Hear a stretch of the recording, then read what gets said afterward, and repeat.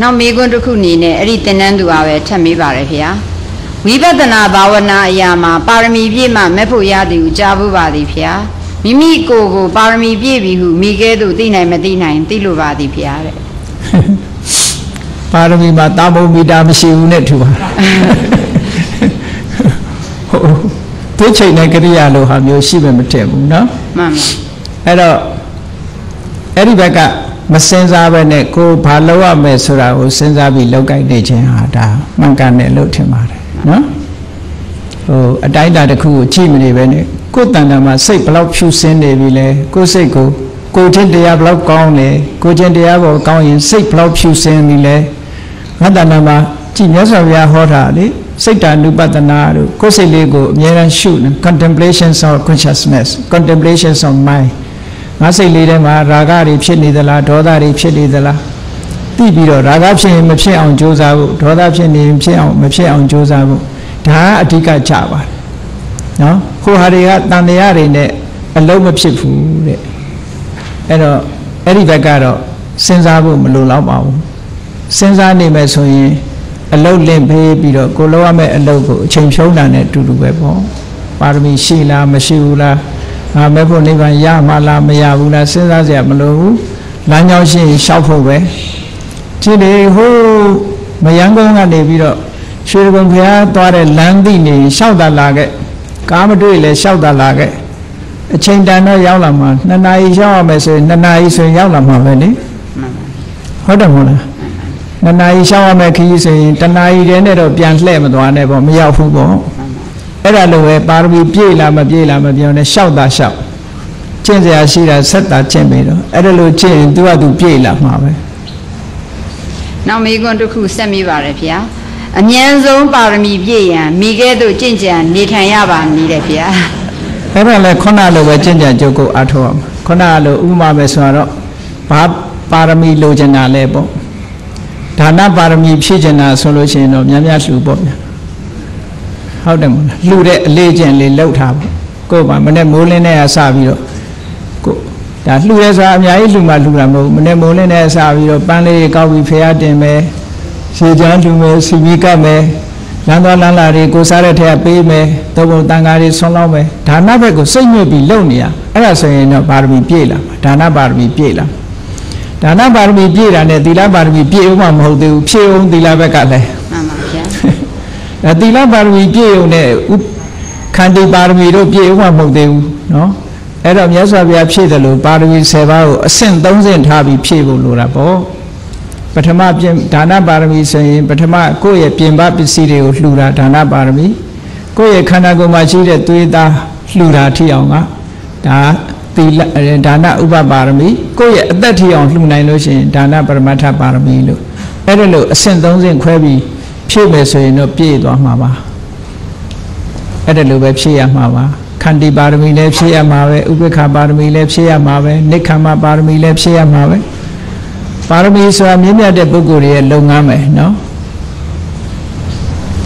နောက်မေးခွန်းတစ်ခုအနေနဲ့သမထဘာဝနာပွားပြီးမှဝိပဿနာဘာဝနာကုသောပုဂ္ဂိုလ်နှင့်ဝိပဿနာဘာဝနာတက်တက်တာအထုတ်အဲ သမထဘာဝနာပွားများပြီးမှဝိပဿနာဘာဝနာကုသောအထုတ်နီးနှင့်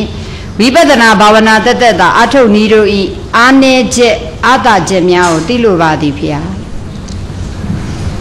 သမထကျင့်စဉ်တစ်ခုကိုကျင့်ပြီးရင်ဝိပဿနာခူးတာကပို့ပြီးတော့တော့လူမှာတတ်တာလွယ်ကူနိုင်တယ်လို့ပြောလို့ရတယ်။ဘာလို့လဲဆိုသမထကျင့်စဉ်တစ်ခုကိုပေါက်သွားပြီးတော့တမာရိယစွမ်းအားတွေထက်လာပြီဆိုရင် တမဟိတောယထာဘူတံပသနာတိမြတ်စွာဘုရားရဲ့လက်ထက်တုန်းကရှေ့ပိုင်းယဟန်တော်တွေတော်တော်များများကသမထကျင့်စဉ်ပေါက်ရောက်ပြီးမှဝိပဿနာခူးတာတွေများပါတယ်။သမထကျင့်ပြီးတဲ့ခါကျတော့မှဝိပဿနာပဲခူးတာပို့ပြီးတော့လွယ်ကူမှုရှိတယ်လို့ဆိုပါဝိပဿနာတက်တက်သွားလို့ရှိရင်တမာရီထူတောင်ရတာတို့ဝိပဿနာဆိုတာကတွေးချောက်တယ်လေတွေးချောက်တယ်တမတလို့မဟုတ်ဘူးတမထဆိုတာစိတ်ကလေးအာယုံတစ်ခုတည်းမှာငြိမ်းနေအောင်လှုပ်ထားပြီး စိတ်ငြိမ်လို့ရှိရင်အသိဉာဏ်ကလည်းပို့ပြီးတော့ရင့်ကျက်လာတတ်တယ်ဝိပဿနာကြတော့အဲ့လိုမဟုတ်ဘူးတဘာဝတရားတွေကိုဆင်ញင်စဉ်းစားနေရသည့်အတွက်ကြောင့်တဘာဝတရားတွေထဲမှာစိတ်ပြည့်စရာတွေမြင်မယ်အနိစ္စတွေမြင်မယ်ဒုက္ခတွေမြင်မယ်ကိုယ်မပိုင်တာတွေမစိုးပိုင်တာတွေမြင်တယ်မြင်လာတဲ့အခါစိတ်ဓာတ်တွေခြောက်ခြားတယ်နောက်နေဗိဓာတို့ဘယတို့ဆိုတာကြောက်စရာကြီးလို့မြင်လာတယ်နော်နောက်ပြီးတော့နေဗိဓာညာညင်းငွေစရာကြီးလို့မြင်လာတယ် ဝိပဿနာကတော့အဲ့ဒီလိုခြောက်ခြားစရာတွေနဲ့သွားတာပေါ့စိတ်ပြက်စရာတွေညင်းငွေစရာတွေနဲ့ဝိပဿနာသွားတယ်အဲ့တော့သမထကသွားလို့ရှိရင်တော့အဲ့ဒီအဆင့်တွေကိုကြော်လွှားပြီးလွယ်လွယ်ကူကူနဲ့သဘာဝတရားတွေကိုရှင်းကနေရှင်းကနေသိသွားနိုင်တာပေါ့နှစ်ခုစလုံးဟာနောက်ဆုံးကြလို့ရှိရင်တော့ဝိပဿနာကလည်းပဲဝိပဿနာတမာတိကလည်းပဲအဆင့်မြင့်သွားလို့ရှိရင်ခုနသမထတမာတိမျိုးလို့ပြန်ငြိမ်းချမ်းသွားပါတယ်သူကလည်း အစမပြတ်မှတ်နိုင်သွားပြီဆိုလို့ရှိရင်ဝိပဿနာတမာတိကလည်းစိုးပြေသွားတာပဲသမထတမာတိလို့သို့တော့သမထအာထုတ်တဲ့အခါကျတော့ခုနကချမ်းသာဒုက္ခအခြေခံပြီးတော့အာထုတ်တာဖြစ်တယ်ဝိပဿနာတက်တဲ့အာထုတ်တာကျတော့ဒုက္ခတက်တဲ့66သွေးသွေးဘက်ကသွားတာဖြစ်တယ်ပေါ့အဲ့ဒါတော့ပုဂ္ဂိုလ်ရဲ့ဆန္ဒအရာပေါ့ကိုကြိုက်တဲ့လမ်းကနေရွေးပြီးတော့ရှောက်ရမှာပဲကုန်းချောင်းရှောက်ချင်တာလားဂါစီးချင်တာလားတခုခုပေါ့နော် အဲ့တော့ဘယ်လမ်းကသွားသွားရောက်ဖို့ရကတော့သင်္ခါရတရားတွေရဲ့မမြဲတဲ့သဘောတွေကိုဆင်ញင်ပြီးတော့လောဘဒေါသမောဟဆိုတဲ့ကိလေသာတွေကုန်ဖို့အဓိကကြတယ်ပေါ့နောက်တစ်ခုတတိထားစရာအချက်ကလေးတစ်ခုကသမထနဲ့ပတ်သက်တဲ့တမာတိနဲ့ဝိပဿနာတမာတိမတူဘူးဆိုတာလေးကိုတော့တတိထားဖို့လိုတယ်ပေါ့ဘုန်းကြီးတို့ဒီဟိုနေတော့ကကိုရီးယားဘုန်းကြီးတစ်ပါးလာမေးတယ်သူမေးတဲ့မေးခွန်းကတော့ तू ကတမာဟိတော ယထာဘူတံပဇာနာတိလို့မြတ်စွာဘုရားဟောတယ်တဲ့တမာတိရှိမှယထာဘူတဉာဏ်ရတယ်လို့ဟောတယ်တဲ့အခုတချို့ကဝိပဿနာတက်တက်လုံးလို့ရှိရင်အောင်မြင်တယ်လို့လည်းပြောကြတယ်ပေါ့သူကတမထမပါဘဲနဲ့ဝိပဿနာဖြစ်တယ်ဆိုတာ तू မယုံကြည်ဘူးလို့ तू ကပြောတယ်အဲ့တော့တမထဆိုတဲ့အဆင့်ကဘယ်ထိအောင်ပြောရမလို့ဆိုလို့ရှိရင်တမထဆိုတဲ့အဆင့်ဒီ အပ္ပနာဇံထိအောင်သွားတာလားသို့မဟုတ်ဥပ္ပစာရအစီသွားတာလားတမာတိကနှစ်မျိုးရှိတယ်တမထကျင့်စဉ်ကိုကျင့်တဲ့အခါမှာဥပ္ပစာရတမာတိအဆင့်ကနေဝိပဿနာခူးတာရှိတယ်ဟောသို့မဟုတ်အပ္ပနာဆိုတဲ့ဇံရပြီးတဲ့နောက်မှာဝိပဿနာခူးတာရှိတယ်အဲ့ဒီနှစ်ခုစလုံးဟာတမာတိကိုထူထောင်ပြီးတော့မှဝိပဿနာပဲခူးတာ အဲ့လိုမဟုတ်ဘဲနဲ့ဝိပဿနာအာယုံတစ်ခုကိုတန်းပြီးတော့ရှုမှတ်တာလေတနည်း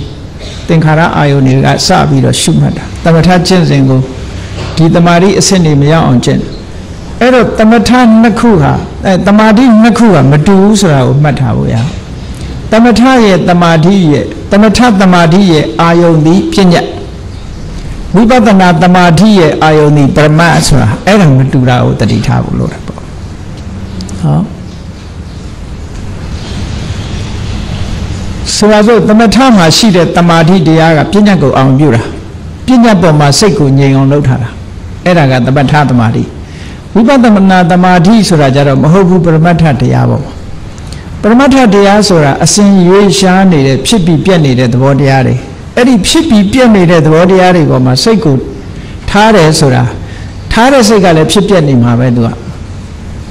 ဟောအာယုံကဖြစ်ပြက်နေတာမဟုတ်ဘူးစိတ်ကလည်းဖြစ်ပြက်နေတာနှစ်ခုစလုံးမှာရွေးရှားနေတာဆိုတာကိုသိလားအဲ့ဒါကဝိပဿနာတမာတိဝိပဿနာတမာတိဒီအတိညာကဥဆောင်သွားတယ်တမထတမာတိကြတော့ပြဉ္ညာကပြဉ္ညာပုံမှာပဲတည်တည်ငြိမ်နေတယ်သူကဒါမို့ဝိပဿနာတမာတိက momentary momentary တခဏလေးတခဏလေးရွေ့ပြီးတော့နေတာတမထတမာတိကြတော့ तू က remain လောက်ထားတာအာယုံပေါ်မှာ remain လောက်ထားနိုင်တယ် ဥပမာပဲဆိုတော့အဖြူရောင်ကတိုင်းရှုတယ်ဆိုရင်အဖြူရောင်ပေါ်မှာစိတ်ကငြိမ်နေတာ तू ဒီလိုဘာမှမစင်စားဘူးဝိပဿနာကြတော့အဲ့လိုမဟုတ်ဘူးဖြစ်ပြီးပြက်သွားတဲ့သဘာဝတရားတွေကိုရှုနေတာအဲ့ဒီပေါ်မှာရှိတဲ့တမာတိอ่ะဒါပညာအာယုံမဟုတ်ဘူးပရမတ်အာယုံဖြစ်သွားပြီအဲ့တော့တမာတိချင်းမတူဘူးလို့အဲ့ဒီဘုန်းကြီးကိုရှင်းပြရတယ်တမာဟိတောညာဏပ ယထာဘူတံပသနာတိဆိုတာဝိပဿနာတမာတိကိုလည်းယူလို့ရတယ်လို့ဝိပဿနာတမာတိသည်ယထာဘူတကိုသိစေနိုင်တယ်လို့ဒီလိုပြောတာလို့မတူဘူးလို့တစ်ခုနဲ့တစ်ခုကောင်းပြီနောက်မေးခွန်းတစ်ခု